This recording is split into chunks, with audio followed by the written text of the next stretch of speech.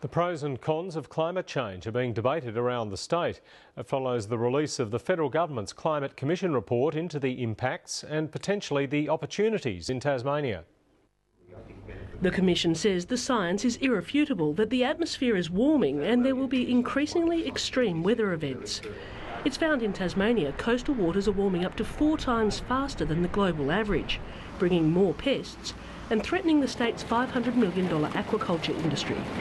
Hydro's viability would be compromised by declining rainfall in the catchments, and it could be catastrophic for the fragile alpine regions as they dry out. So we could see whole-scale wiping out of, of species and ecosystems uh, as, as fire becomes more frequent and more intense in, in places that are simply not adapted for it. But there could be some benefits too.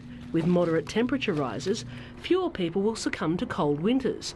A wider variety of wine grapes could be grown, and increased rainfall in the northeast could expand agriculture. Look at those aspects of Tasmanian society agriculture which are temperature limited by cold temperature.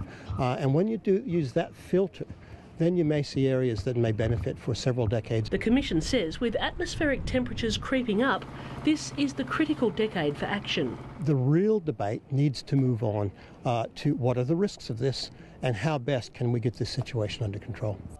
It's a point the Climate Commission's sure to push at public meetings in Hobart and Launceston. Catherine Grant, ABC News.